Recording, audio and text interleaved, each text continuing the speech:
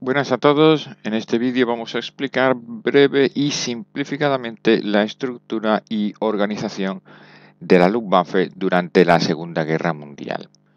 El 26 de febrero de 1935 Hermann Göring declaró al mundo el nacimiento de la Luftwaffe, cuerpo de combate que había sido prohibido por el Tratado de Versalles en 1919. Sin embargo, la Fuerza Aérea Alemana no surgió de la noche a la mañana en 1935, sino que en realidad se había ido desarrollando en secreto ya incluso durante la época de la República de Weimar entre 1919 y 1933. De hecho, al amparo del Tratado de Rapallo en 1922, Alemania creó bases secretas en Rusia, como la de Lipetsk, en donde se formaron muchos de los cuadros que acabaron conformando la posterior Luftwaffe.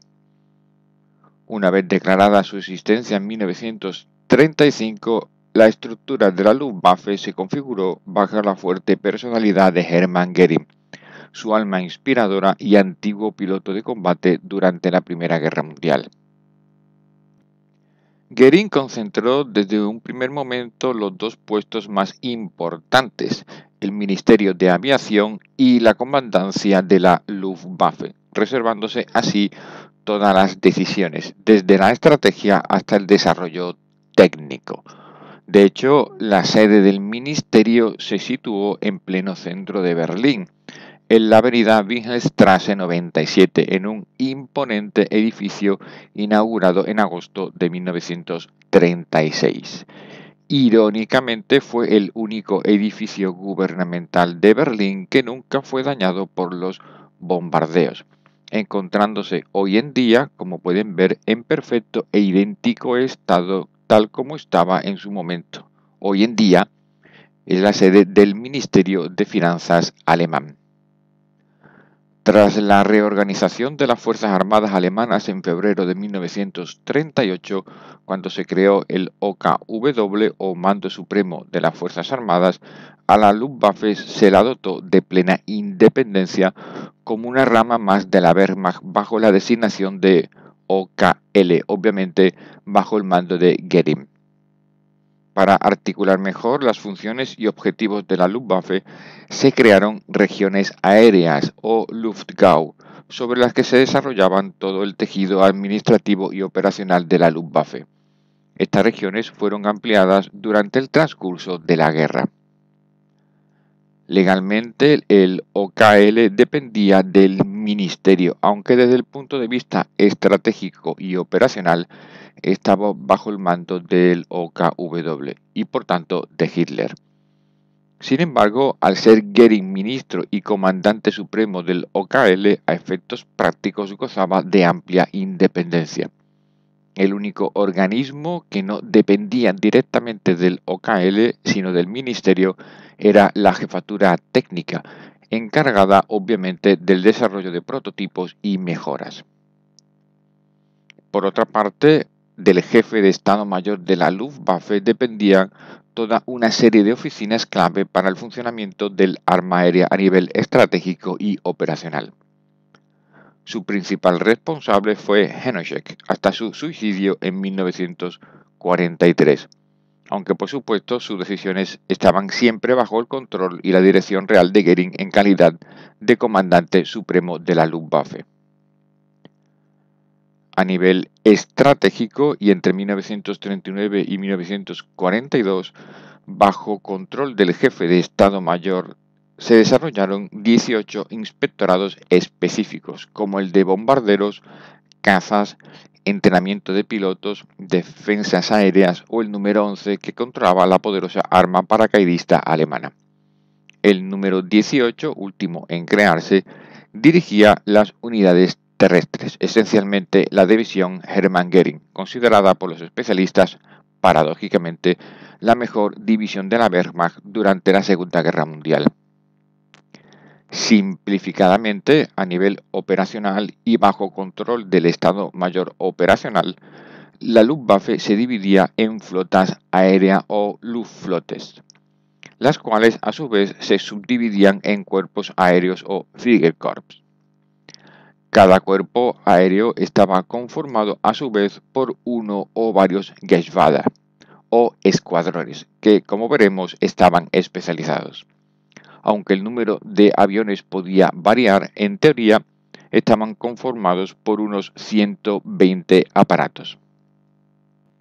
La división táctica de los escuadrones o Geschwader era singularmente flexible y dotó a la Luftwaffe de una notable capacidad para dispersar sus unidades aéreas en función de sus propias necesidades.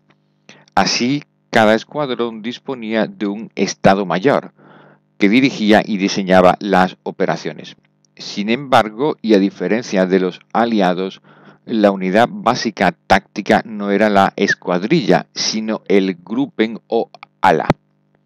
Lo habitual era que cada escuadrón estuviese formado por tres grupen, cada uno de entre 36 y 42 aviones.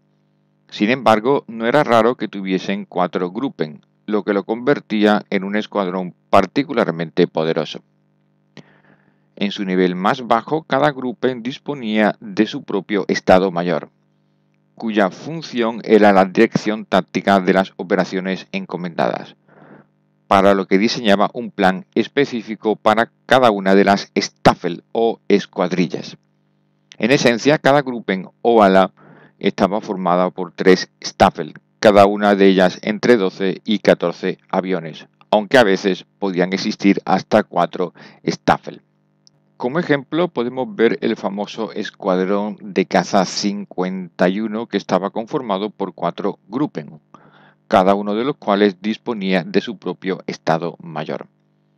Cada Gruppen estaba a su vez compuesto por tres Staffel, cuya numeración era correlativa en función del número de Gruppen. Los Staffel de cada Gruppen eran siempre tres, numerándose en función del Gruppen al que pertenecían.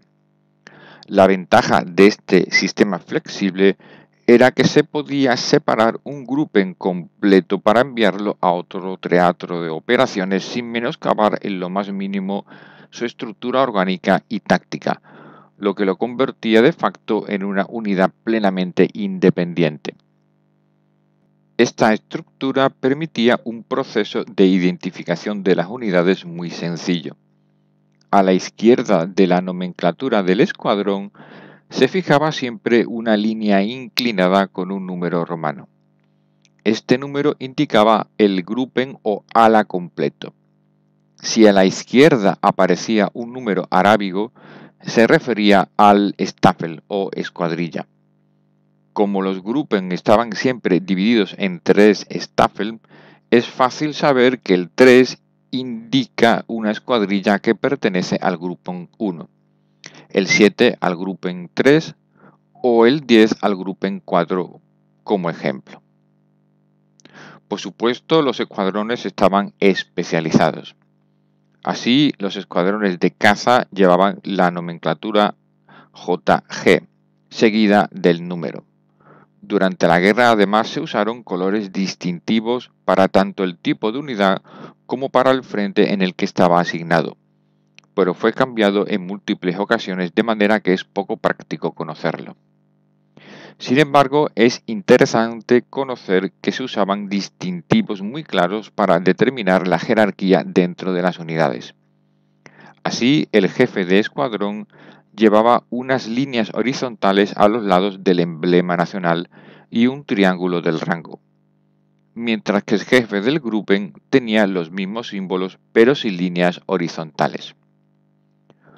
Por su parte, los diferentes aviones de los Staffel eran diferenciados por colores y marcas dentro de cada Gruppen. En este ejemplo, el 4 indicaría simplemente el número indicativo de avión, que puede ser en realidad cualquiera. Por tanto, todos los aviones pueden identificarse visualmente como dentro de un Staffel y Gruppen concreto. Siguiendo el ejemplo anterior, podemos identificar este Messerschmitt Bf-109 como el número 13 que forma parte del Staffel 4, que a su vez está integrado en el Gruppe 2. Sabemos que pertenecía al escuadrón de caza JG-77 porque es visible su emblema en el lateral de la carlinga. Finalmente, la flexibilidad del sistema y la capacidad de las partes de una unidad de la Luftwaffe para operar de manera independiente permitía crear cuerpos aéreos con fracciones de unidades. Por ejemplo, el décimo Fliegerkorps, cuando fue trasladado a Grecia y Libia en el verano de 1941, fue creado con grouping de distintas unidades e incluso trasladando una única escuadrilla, es decir, el séptimo Staffel del escuadrón de caza 26. De esta manera, el cuerpo aéreo disponía de una gran variedad de unidades especializadas en función de los objetivos que se le asignasen.